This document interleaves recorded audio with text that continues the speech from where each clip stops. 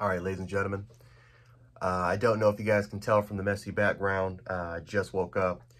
Uh, so I, you know, I apologize if I couldn't get the reaction out there a little bit earlier. Um, this LSU Florida State game exhausted the absolute hell out of me. Literally, as soon as the game was over, I, I went to sleep. It was too exhausting. Uh, the game was way too exhausting. Um, this was one of the ugliest games I think I've ever seen in my life. This was one of the craziest games I think I've ever seen in my life. Uh, it was, I, I, you, I mean, I'm not even an LSU or a Florida State fan, and I just felt like I went through the seven stages of grief. Um, I went through every single sort of emotion imaginable, and it's it's it's crazy. It, it's it's absolute crazy. I, I've never seen anything like this. I've never seen two teams try to lose a game so hard. Right? People talk about Pittsburgh and West Virginia, what happened on Thursday. No, guys, this was far worse. This is far worse. Uh, penalties, dropped interceptions, horrible passes, fumbles. We had two muff punts by Malik Nabers. Uh, I mean, it was... I've never seen two teams try to lose a game as hard as what I've seen Florida uh, that matchup between Florida State and LSU. This was nuts. Um, Oh boy. Uh, it was exciting towards the end, but I'm screaming at my TV. I'm, I'm, I'm, I'm just, I'm going off because I'm like, dude, how in the hell is Florida State allowing LSU to do this? And and and then on the other flip side, I'm like, how in the hell is Florida, is LSU, how the hell is LSU allowing Florida State to do what the hell they want to do? I mean, it's nuts, it's crazy. Um, Brian Kelly looked, you know, they showed during the moments that they showed Brian Kelly he looked like he didn't want to be there. He looked like a coach that did not want to be coaching at that uh, at, at at the University of LSU anymore, or Louisiana State University. He looked like he didn't want to be there. Uh, Kayshon Boutte did not look like he wanted to be there. He want that that looked like a person that that the first opportunity he gets, he's gonna enter the transfer portal. My God. Uh, Jayden Daniels was horrific through the majority of the game until like the last couple minutes. That last drive, which was like a, a literally, I think that was a, a 98, like a 98 yard drive that they were able to accomplish. Um, I, I have no words. I don't know what to take away from this. I don't know, because Florida State looked really good defensively, at least. They were ag aggressive. Their pass rush was relentless. Um, their quarterback, for the most part, had an up. I mean, it was, he made some spectacular plays.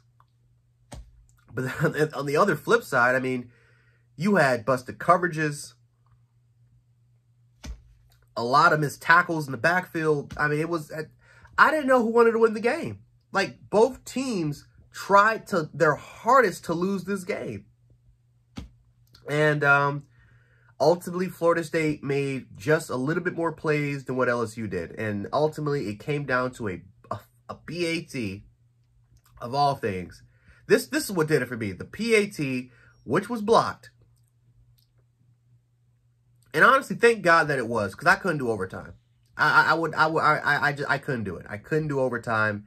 I was gonna literally by the by the end of regulation, I was gonna go to sleep regardless. I could not watch overtime. I couldn't do it. So I'm actually glad that PAT was blocked. But guys, this game was exhausting.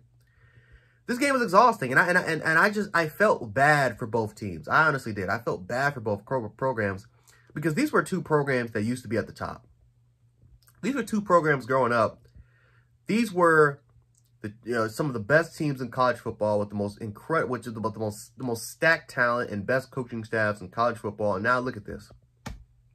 Look at what it's reduced us to, right?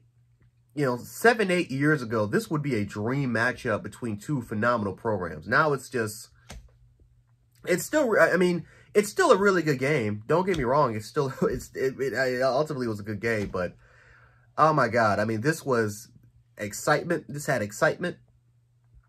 This was sloppy. Both teams tried their hardest to lose, but at the same time win at the same. I, I, I just, I. This was insane. I, I don't know how to describe it. This was. I've never seen a game like this. or maybe I haven't seen a game like this in a long time that I can't uh, that I can personally recall. I, I, I this was, this was crazy. I, I don't know, man. I don't know.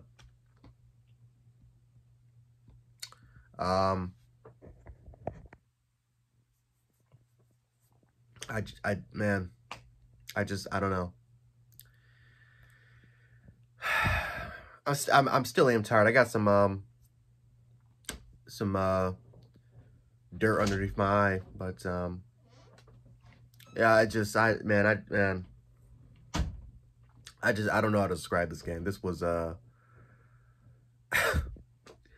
oh boy, I, I just know that Brian, it, if it, I, I'm, you see, I, I'm stuttering all over the place. I can barely even talk. I can only imagine what Brian Kelly feels. I can only imagine what Brian Kelly feels. Mark Mike is probably celebrating because uh, his team got the win. But if you're Brian Kelly, you, would I'm like, I, I don't know how you feel. I, I don't know how you feel. Um, this was this was nuts. Let me know how you guys feel about this game. Um, just just speechless. I, I am actually still tired from yesterday, but um, yeah, unbelievable, just unbelievable.